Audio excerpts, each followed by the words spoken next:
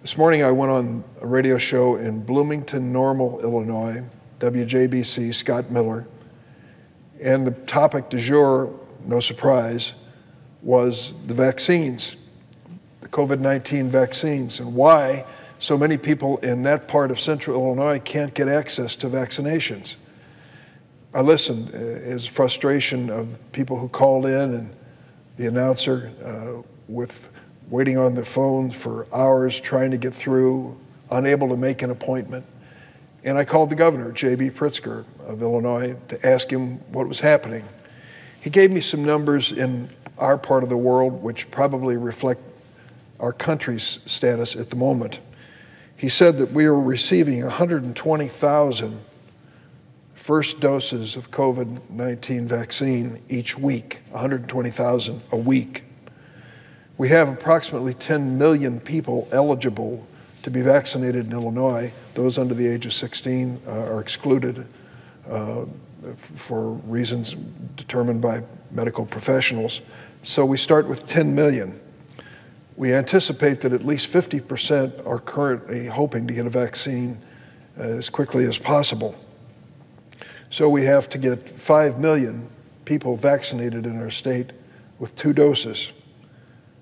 10 million doses, and we're receiving 120,000 a week. Is it any wonder that the new president, Joe Biden, has spoken up that we need to obtain as quickly as possible new sources of COVID 19 vaccine in large numbers. I support that completely. It is part of his request for the American Rescue Plan, which has come before the United States uh, Senate and House of Representatives. In that request, uh, he spells out what he thinks are the priorities of this country, and I believe he's correct. We talk about $160 billion to provide the supplies, emergency response, testing, and workforce for our country to stop the spread of COVID 19. Could there be any higher priority? $170 billion for schools and higher education so they can safely reopen and operate. Any parent or grandparent knows how urgent that need is. $80 billion for paid leave includes 14 weeks of paid family medical leave through the end of September. Certainly, people need to have that option available either because of their own illness or an illness in the family. The direct payments, already $600 has gone out to many families in direct payments. Another $1,400 per person has been promised and is included in the Biden proposal. Unemployment insurance. We still are finding record numbers of people who are filing for unemployment. $290 billion extends the current benefits and eligibility, and a $400 supplement per week until the end of September. Rental assistance, SNAP benefits, child care, relief to families, such as a child tax credit. The list is lengthy, and I've read through it carefully. Should we do it? There are some who argue no, we don't need any more stimulus. We've done all we need to do.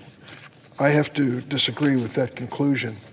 The news this morning was that was alluded to by the Democratic leader suggests that we are not out of the woods by a long shot when it comes to the state of the economy. CNN reported this morning that the Donald Trump final economic report card could be very underwhelming.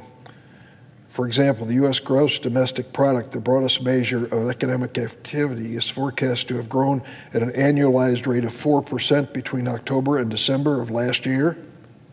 In a normal year, that would be cause for celebration, an A plus.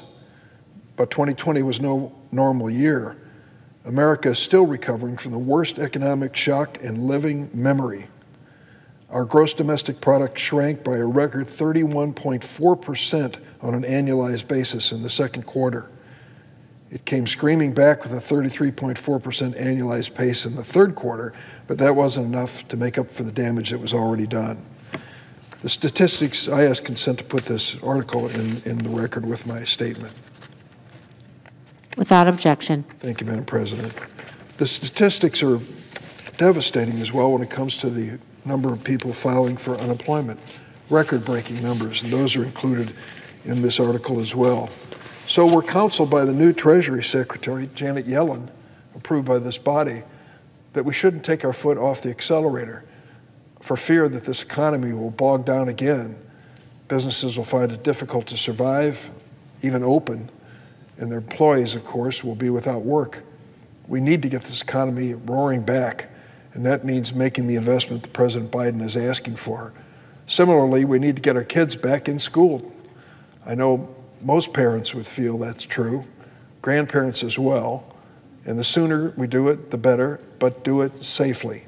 Safely for the teachers and administrators and everyone involved in that decision. Madam President, it's hard to imagine what we've been through in the last calendar year, the year 2020. I'm glad it's behind us. We still have many challenges ahead.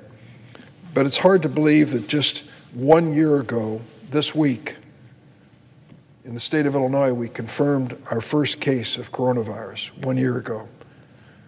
The patient had returned from China to suburban Chicago and transmitted the virus to her husband. She was treated successfully, as was her husband. But in the 365 days since then that transpired, 1.1 million COVID 19 cases occurred in my state of Illinois. From one person a year ago, 1.1 million cases, and almost 19,000 Illinoisans have died. The story is repeated in every state and every community. What started as a worry ended up becoming a pandemic and one of the most deadly in American history. Last year, I came to the floor to ask unanimous consent for a resolution with a simple message that the United States should work with other nations around the world to address the COVID 19 pandemic. It seemed like a common sense proposition. To think that one case in Wuhan, China has led us to where we are today tells us that this is a shrinking world. We need to tackle that deadly communicable disease because it knows no boundaries. No nation is safe from COVID 19 if it is raging in any part of the world. Equally, no nation's economy is immune from the impacts of pandemic raging elsewhere. I'm glad the Senate eventually passed the resolution that I introduced, affirming the need to join with others in fighting the pandemic. Now, the first priority is obvious take care of the American people and American families and everyone who lives in our nation. That is the first and highest priority for our elected officials at every single level. We are now debating a measure to help the American people gain access to vaccines, the Biden Rescue Plan, and the harsh economic impact it's had on America. President Biden understands the immediacy of these needs and I hope that we in Congress do as well. As we respond to the COVID 19 crisis in America, though, we cannot ignore the need for a global response. This isn't a matter of being charitable. It's in our national interest and a reflection of our values to ensure that poor nations have access to vaccines and tools to manage their impact. The New York Times columnist Nick Kristof chronicled this problem in a powerful piece earlier this month entitled Starving Children Don't Cry. He noted that while some developing countries may have avoided high COVID death tolls, the pandemic has led in many places to what he calls pandemics of hunger, disease, and illiteracy. Day laborers can't find work. Campaigns to address malaria, polio, AIDS, and malnutrition have been disrupted.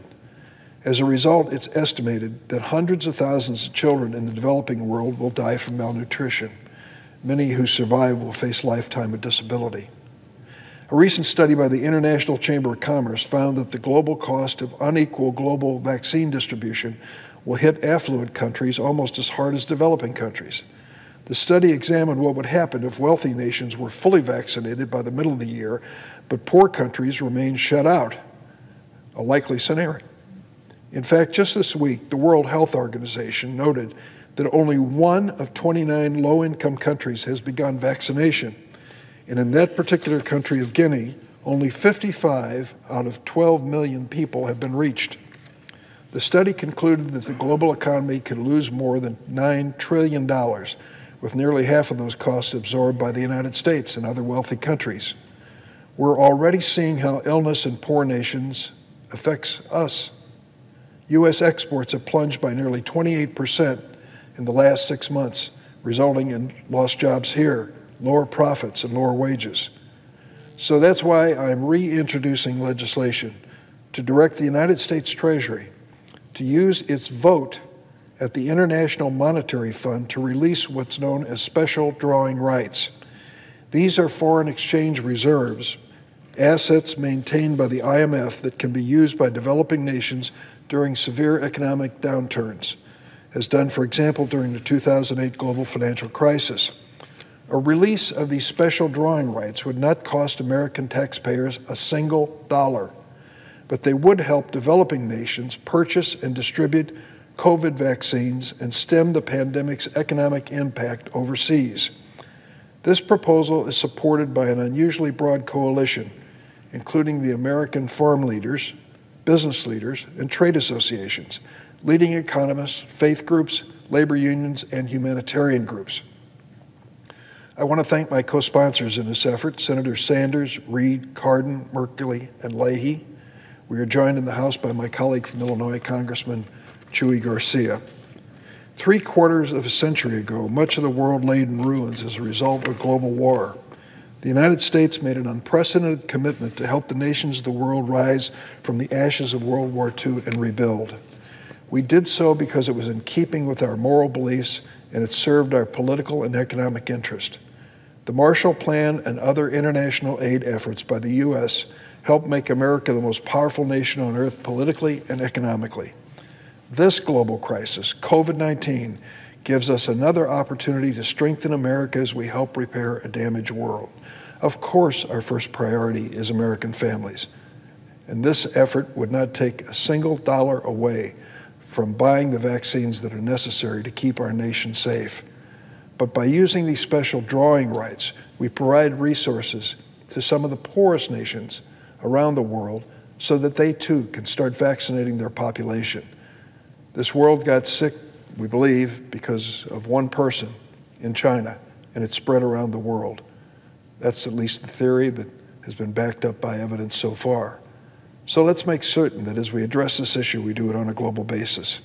I urge the Senate to support this measure as a way to not only do the right thing for less fortunate brothers and sisters around the world, but as a way to help our own pandemic and economic recovery.